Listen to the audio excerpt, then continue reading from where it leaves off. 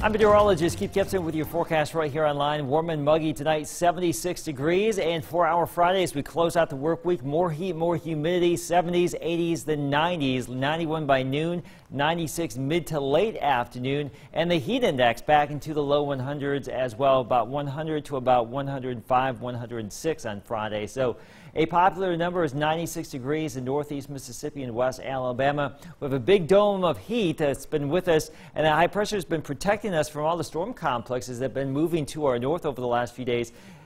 The storm track's going to shift down to the south a little bit more so as we get into the weekend, so our rain chances start to go up as we get into the weekend. Not so much Friday. You can see with Futurecast the storm chances back to the north, but we have that pattern shift and this frontal boundary coming on in, so at least the opportunity for a few scattered showers and storms for our Saturday, Sunday, even into Monday too. Anything that we can get is welcome. We are in a drought situation around here. After the weekend, a typical summer pattern for next week.